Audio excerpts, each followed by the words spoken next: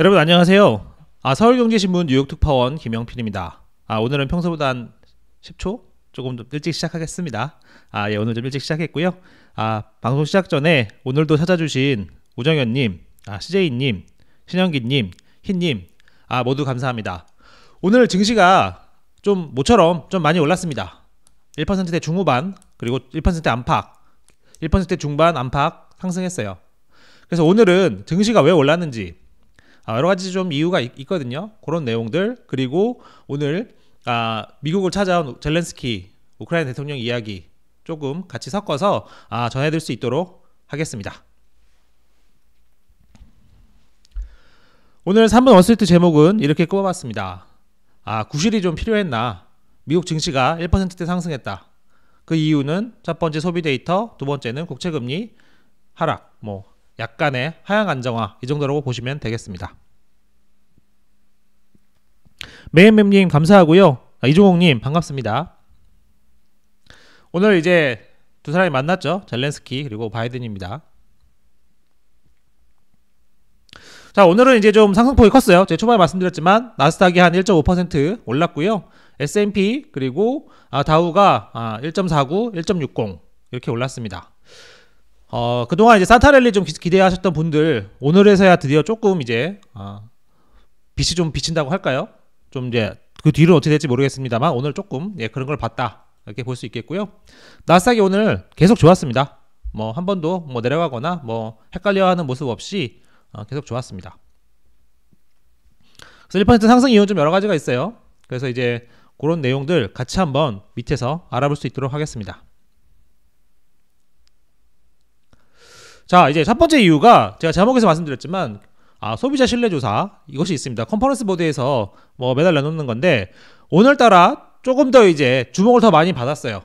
평소에는 뭐 이게 컨퍼런스 보드 요거 자체만 가지고 뭐 증시를 뭐 좌우할 정도의 그 정도는 아니지만 어쨌든 오늘 어, 증시를 좀 많이 움직였습니다. 보시면 12월 신뢰 지수가 108.3 그래서 월가 예상치를 크게 웃돌았습니다. 1타적으로는 크게 웃돌았다. 그리고 지금 전반적으로 호재가 별로 없잖아요. 호재가 없는데 그러면서 일, 아, 일말의 빛이 비친 거죠. 크게 올랐습니다. 그리고 지금 상황을 보여주는 경제 여건 지수, 현재 여건 지수 이것도 전, 전달보다 올랐고 6개월 뒤를 예측하는 기대 지수, 기대 지수입니다. 기대 지수 이것도 상승했어요. 그리고 일자리도 지금 충분하다 이런 답변이 늘었습니다. 자 이제 소비가 미국 경제에 굉장히 중요하다는 건 다 아실 테고요. 이렇게 보시면 됩니다. 소비자 자신감이 예상보다 크게 올랐다. 그리고 일자리도 지금 괜찮다. 이렇게 얘기, 하는 거잖아요. 그러면 이제 그동안 골디락스를 생각했던 분들, 이런 분들 입장에서는 아, 좋은 소식일 수 있죠. 아, 이렇게 하다가 아, 조금 오늘 어, 괜찮을 수 있겠구나. 이런 생각을 할 수, 할 수 있는 거죠. 충분히. 그래서 이제 마켓워치 설명 보시면요. 소비자 신뢰는 경제가 나아지고 있는지 나빠지는지를 보여주는데 미국인들이 조심스럽게 낙관적이다. 아, 지금 이제 뒤에 잠깐 뒤에서 설명드리겠지만 안 그래도 지금 산타레를 하고 싶어서 좀 계속 눈치를 좀 보고 있었죠. 근데 이제 어느 정도 이제 뭐 계기는 없었고 그동안 좀 많이 떨어진 것 같긴 하고 그런데 오늘 이제 소비자 신뢰 지수가 좀 좋게 나오면서 아, 좋은 모멘텀을 하나 형성했더라. 이것도 사실은 아, 그 예상치보다 훨씬 더 높게 나왔기 때문에 그런 측면이 좀 더 강해진 것 같습니다. 나이키 실적 제가 어제 잠깐 전해드렸었는데 이 나이키 실적이 어제도 제가 말씀드렸지만 기본적으로는 아 이게 기본적으로는 그 어닝, 매출 전부 다 월가 예상을 뛰어넘었습니다. 그런데 재고가 좀 문제라고 제가 말씀드렸잖아요. 뭐 조금 줄긴 했어요. 그래서 뭐 내 나이키 스스로는 무슨 뭐 우리는 이제 뭐 재고 피크는 지났다 이렇게 얘기하는데 그건 좀 알 수 없는 노릇입니다. 뒤에서 얼마나 이제 순익을 갉아먹을지 어닝이 어떤 영향을 줄지 알 수 없기 때문에 그리고 이제 지금 연휴 시즌 어떻게 될지 좀 알 수 없기 때문에 좀 봐야 돼요. 하지만 이제 전반적으로 이건 좋았기 때문에 오늘 한 12% 급등했습니다. 요게 제가 다시 제 화면에서는 다시 수정이 되어 있는데 지금 수정이 안 되어 있는데 12% 급등했어요. 나이키가 좋다는 얘기는 아무래도 전반적으로 소비가 괜찮을 수 있겠다 뭐 이런 것 때문이겠죠. 그게 이제 정시 전반에도 좋은 역할을 했다 그런 얘기고요. 이건 이제 제가 아까 방금 말씀드렸던 아, 컨퍼런스 보드의 아, 소비자 신뢰 지수 쭉 올라가다가 이제 2020년에 음, 코로나 위기 때 급락했었고 다시 좀 올라갔다가 전반적으로 하락하는 추세였는데 이번에 좀 갑자기 좀 많이 올랐다. 뭐 이런 게 되겠죠. 그래서 아, 월가가 기뻐했다. 이렇게 생각하시면 되겠습니다. 자, 이제 미 국채금리 어제 이제 아, 일본 국채금리의 영향을 좀 받았었죠. 이것이 오늘은 좀 어느 정도 아, 안정 뭐 약간 내려가면서 안정했기 때문에 하향 안정 이렇게 보시면 되겠습니다. 어, 이제 일본 국채 금리는 어제 이제 한 10년은 0.48%까지 뛰었어요. 제한 폭이 이제 0.5잖아요. 그러니까 제한 폭까지는 이제 거의 다 올라간다 이제 무조건 제한 폭까지는 간다. 2년물은 어제는 뭐 이제 2015년 이후 처음으로 플러스를 기록하기도 했어요. 나중에 다시 뭐 마이너스 전환을 했지만 어쨌든 몇 년 만입니까? 한 7년여 만에 어, 플러스 기록했다는 게 상당히 좀 또 의미가 있, 있겠죠. 근데 이제 오늘 10년만 10년만기 국채 금리는 어쨌든 국채 금리가 오르면 또 이제 수요가 또 늘고 이렇게 하기 때문에 계속 좀 왔다 갔다 하는 측면이 있습니다. 그래서 국채 금리는 트렌드를 좀 보셔야 되고 단기간에는 좀 크게 많이 올랐을 때, 크게 많이 떨어졌을 때 그 이유를 찾아보시는 게 맞습니다. 그래서 어쨌든 10년만기 국채 금리가 같이 한번 보시죠. 자. 517을 보시면요. 오늘 여기 뒤에 오른쪽 끝에 보시면 골이 보이십니다. 이게 3.63%까지 떨어졌었어요. 다시 좀 올랐었는데 다시 또 좀 내려갔어요. 그래서 전반적으로는 어제 수준에서 약간 밑에 그 정도 그 정도 유지하는 하향 안정 그 정도 됐습니다. 좀 이제 국채 금리가 뭐 많이는 아니지만 좀 하, 조금 떨어졌고 뭐 하향 안정화하는 모습을 보였기 때문에 증시에 당연히 도움이 됐겠죠. 그래서 블룸버그는 국채 금리가 전체적으로 큰 움직임이 없었다. 약간 플랫했다. 평평했다. 어, 그렇게 보기도 했어요. 그러니까 이제 일단 여기까지 벌써 두 가지죠. 소비자 신뢰 지수가 좋았고 국채 금리는 좀 약간 더 올라가진 않으면서 좀 약간 약간 떨어지면서 어, 심리적으로 도움이 됐다. 이런 부분이 있었다. 그리고 나이키 나이키가 재고는 문제는 아직 여전하지만 전반적으로 매출과 어닝이 아, 월가 예상을 뛰어넘으면서 아, 좋은 신호를 줬다. 요 신호라는 얘기는 나이키 단순 신호기도 하고 아, 전반적으로 어닝이 생각보다 도 나쁘지 않을 수 있겠다 이런 희망을 줬다는 뜻입니다. 근데 이제 제가 말씀드리지만 조심해서 봐야 될 부분이 있어요. 어쨌든 수치가 올랐지만 6개월 뒤를 보는 기대지수 이게 여전히 경기 침체 수준 근처입니다. 80 정도가 경기 침체를 어, 좀 얘기하는 수준이라고 하는데 그 언저리에 있는 거예요. 그거가 그거 그게 하나 있죠. 역사적으로 낮은 수준이다. 이 부분 하나 아셔야 될 필요가 있습니다. 그리고 컨퍼런스 보드 측에서 이렇게 얘기했어요. 아, 주택이나 대형 가정 구매 수요 둔화했다. 인플레이션과 금리 인상의 역풍은 내년에도 이어진다.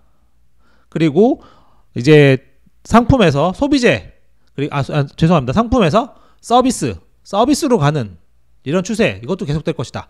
이 얘기가 좀 보셔야 되는 게 서비스로도 계속 소유가 가면 서비스가 계속 또 강하지 않겠습니까?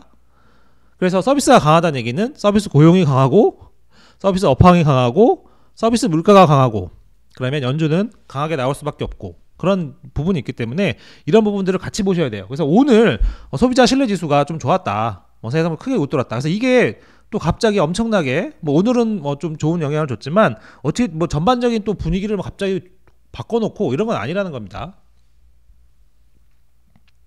그래서 오늘 제가 좀 약간 좀 이게 좀 아, 이건 좀 심하다 이런 생각 좀 들었던 거는 오늘 이제 뭐 방송 미국 방송도 그렇고 뭐 신문도 그렇고 뭐 언론도 그렇고 이런 기사들 좀 있, 더라고요 페덱스가 실적이 어쨌든 좋았다. 그래서 그게 오늘 증시 전반에 도움이 됐다. 뭐 이런 얘기예요. 근데 페덱스는 사실 제가 어제 전해드렸잖아요. 이번에 매출이 줄었어요. 수요도 계속 줄고 있다고 자기들이 스스로 얘기했어요. 근데 이제 전반적으로 구조조정을 세게 하잖아요. 비용 뭐 엄청 깎고 이러면서 아, 전반적으로 어닝 같은 건 조금 어느 정도 맞췄습니다. 그래서 CNBC 설명 보면 아, 사람들은 매출 감소보다는 아, 강도 높은 이제 구조 조정 이걸 좀 높이 쳤다 이렇게 얘기를 하고 있어요. 그래서 이거는 어느 정도까지 제가 얘기가 되냐고 생각하냐면 아 그렇습니다. 페덱스 주주들한테는 의미가 있을 수 있어요. 페덱스 주주들한테는 어쨌든 전반적인 매출이 줄고 하지만 어쨌든 비용은 엄청 깎고 이렇게 해서 좀 이제 이익 부분을 맞추려고 하다 보니까 아 이런 부분 높이 살 수 있겠죠. 근데 저희가 이제 거시경제 측면에서 페덱스를 볼 때는 전반적인 그 물동량 그리고 택배 수요 이런 게 더 중요하거든요. 그래서 저희가 페덱스를 좀 더 의미 있게 보는 겁니다. 근데 이제 그런 측면에서 봤을 때는 안 좋은 거죠. 그래서 이걸 가지고 아, 오늘 증시를 움직였다 이렇게 얘기하기에는 아 조금 어폐가 있는 것 같습니다. 조금 심하다고 제 생각이 들어요. 그래서 제 생각과 비슷한 분이 제가 오늘 어, 여러 가지 기사를 찾았습니다. 샘 스토발 부분 이 부분인데 시장은 그동안 아, 매도가 좀 과도했었고 반등할 구실을 찾고 있었다. 그래서 나이키와 페덱스가 계기가 됐다고 하지만 나는 이것이 오래 지속할지 그것이 의문이다. 그래서 제가 이제 말씀드리지만 페덱스를 가지고도 이제 뭐 이게 어 이것 때문에 증시가 올랐다 이렇게 얘기를 하는 걸 보, 면서아 이게 조금 어느 정도 아뭐 울고 싶은데 뭐 뺨 때린 격이라고 어쨌든 올라가고 싶었는데 어느 정도 분위기가 조, 뭐 상황이 어쨌든 딱 어쨌든 맞아 들었다. 하지만 이게 계속될 건지 이거는 알 수 없겠다. 왜냐하면 당장 소비 같은 경우도 이번 주 금요일 날 나올 이제 뭐 PC를 같이 좀 봐, 야 되니까요. 어, 그걸 보면 좀 더 상황을 알 수 있겠죠. 그래서 좀 이제 전반적인 아, 경기에 관한 안 좋은 신호는 계속 좀 있습니다. 그래서 이제 소비를 좀 더 보긴 해야 되죠. 아까 이제 소비자 신뢰 지수만 가지고 소비 전체를 판단할 수 있는 게 절대 아니잖아요. 그래서 실제 소비를 좀 더 봐야 되는데 오늘 나온 것 중에 지금 벌써 생각을 보니까 저도 약간 어 이제 미처 느끼지는 못하고 있었는데 벌써 크리스마스가 며칠 안 남았습니다. 뭐 한국은 하루 더 빠르니까 더 빠르게 갈수 있죠. 저희 여기만 해서도 뭐 벌써 이제 뭐 토요일까지 본다고 해도 어 벌써 내일은 목요일이니까 미국 시간으로요. 목금토 한 3일 정도 오늘까지 뭐 지금 뭐 밤인 여기 시간 밤인데요. 오늘까지 하면 뭐 4일 정도 그 정도 남은 거예요. 그러니까 사실은 어 본격 뭐 대목이죠. 대목이 얼마 안 남은 건 며칠 안 남았습니다. 그래서 이제 웰스파고에서 이런 얘기를 했어요. 아 자기들 생각에 아 지금 얼마 남지 않는 기간 동안 아, 매출이 좀 적을 것 같다. 줄 서는 사람들이 좀 적을 것 같다. 이렇게 얘기를 했고 스티펠은 자체 조사 아 자체 조사를 해보니까 이번에 이제 뭐 holiday 시즌이라고 보통은 다들 표현을 합니다. 이번 뭐 연말 뭐 이럴 때 연휴 시즌 뭐 좀 더 길게 보면 뭐 11월도 되겠지만 어쨌든 뭐 이번 이번 달 중순에 했다니까 연말을 의미하겠죠. 연휴 시즌에 소비를 4% 작년보다 덜 할 것 같다. 최근 3개월 동안은 전년 대비 3% 성장이었는데 어, 갑자기 연말쯤에 와서 4% 감소로 나온다. 그래서 중요한 게 이거죠. 월마트 타겟의 전망치를 좀 내렸다. 월마트 타겟은 결과적으로 시장에 좀 증시 전반에 미친 영향이 있잖아요. 소비에도 영향을 주고요. 그러니까 이제 뭐 나중에 또 숫자가 나와봐야 알겠지만 약간 어, 좀 두고 볼 필요가 있겠다. 조심할 필요 있겠다. 이런 생각이 들게 됩니다. 그리고 이제 부동산. 아, 이 부동산 거래가 또 감소가 조금 심상치는 않습니다. 이게 이제 기존 주택, 기존 주택이 지금 지어져 있는 거라고 생각하시면 돼요. 뭐 이게 표현이 뭐 번역이 좀그 어려워서 그런데 existing homes 이게 어쨌든 전체 거래 건수의 한 90% 차지하거든요. 그러니까 거의 대부분 차지하는 거죠. 이게 계속 급감하고 있습니다. 많이 내려왔죠? 많이 내려왔고요. 그래서 이제 이 감소가 10개월 연속 감소라고 합니다. 그래서 이게 아 자료 요거를 통계를 낸 게 1999년인데 1999년 이후 최장기간이라고 합니다.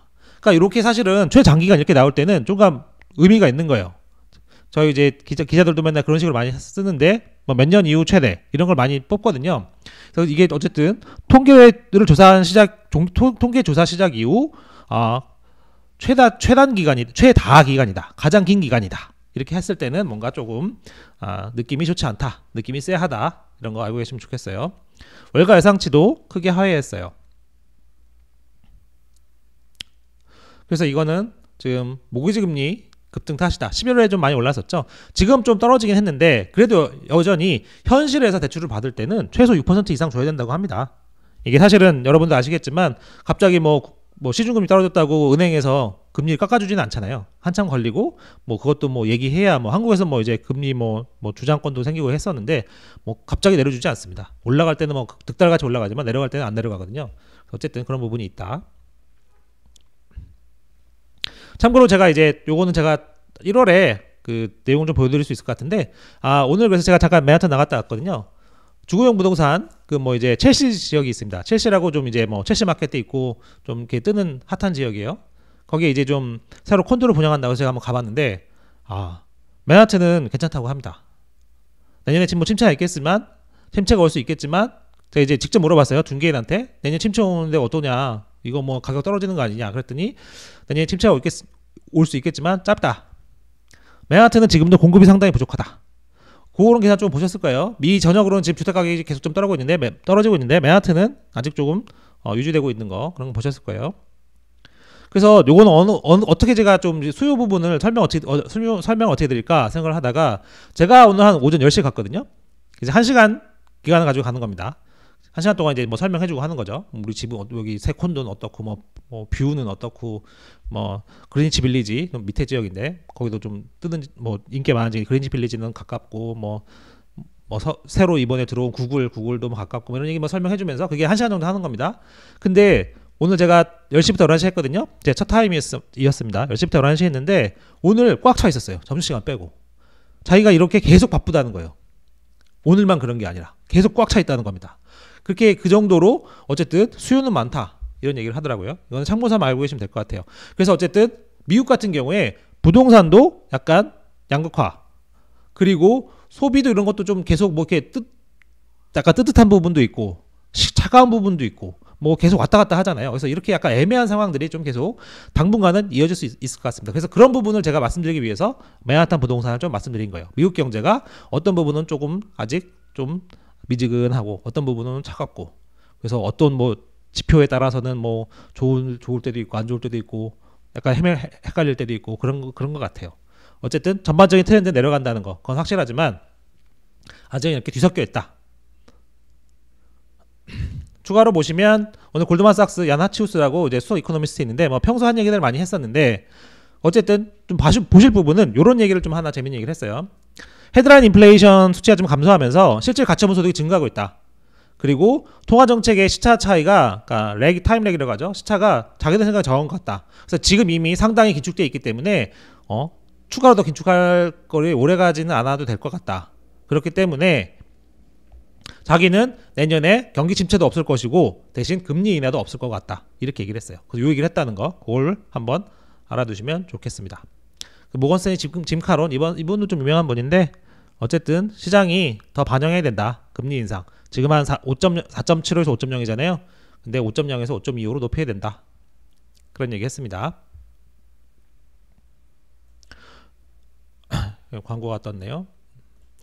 자, 보시죠. 그래서 오늘 젤렌스키가 이제 결과적으로는 바이든 대통령을 만났죠. 그래서 바이든 대통령이 아, 미국 계속적인 지원 이런 걸 얘기했습니다. 그런 얘기는 나중에 보시면 되고요. 추가로 하나 볼게 오늘 패트리엇 포대 이걸 좀 제공했거든요. 근데 이게 역시 방어용이라는 거 같이 한번, 한번 보시면 되고 젤렌스키가 이런 얘기 했어요. 전쟁이 끝나지 않았다.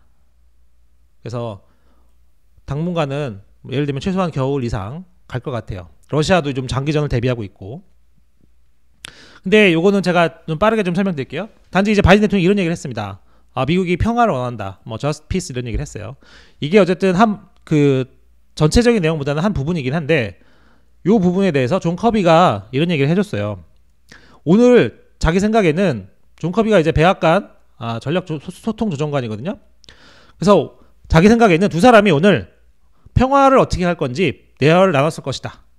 평화가 어떻게 생겼고 어떤 요소로 구성되어 있으며 미국이 평화를 어떻게 가져올지 도와줄 수 있을지 이런 얘기를 했, 했을 거라고 자기가 확신한다 이런 식으로 얘기했어요. 노다웃이라고 했어요. 의심 의심의 여지가 없다. 그 이 얘기를 좀 같이 보실 필요가 있는 게 전반적으로 젤렌스키나 전반적인 내용을 보면 아 우크라이나와 러시아가 바로 단기간에 뭐 휴전을 하거나 뭐 협상을 하거나 그럴 가능성은 없어 보여요. 근데 이제 미국이 어쨌든 이런 부분에 대해서 이제 계속 관심을 하고 있다는 거. 미국이 당장 이걸 가지고 내일 당장 휴전해 이렇게 압박을 하진 않겠지만 요거 부분에 대해서 계속 이제 관심을 갖기 시작했다는 거 그리고 요 부분은 계속 이제 밀고 나갈 거라는 거 고민이 시- 깊어졌다는 거 이게 중요합니다. 이게 왜 그러냐면 결과적으로는 우크라이나도 미국이랑 서방 얘기를 아예 안 들을 수는 없어요. 그래서 제가 기사에 잠깐 써, 써놨는데 우크라이나가 옛날에 한국 전쟁 때 한국과 비슷, 비슷하다는 제가 생각을 자꾸 합니다. 제가 전에도 며칠 전에도 이제 다- 어떤 분들 계실 때도 그런 얘기를 했었는데 한국 전쟁 때도 결과적으로는 미군이 없으면 한국 그때 당시 계속 통일을 하고 싶어서 계속 전쟁을 할 의사가 있었죠. 자, 어, 뭐 그렇, 그렇지만 미국이 없으면 결과적으로는 전쟁을 지속할 수는 없고 그래서 결과적으로는 그 와중에 뭐 이승만 정부와 뭐 미국과 계속 뭐 힘겨루기도 하고 이러저러 하다가 어쨌든 휴전이 결국 이루어지긴 했습니다. 결국 미국 없이는 뭐 떨어 계속 전쟁 지속하는 건 불가능하니까요.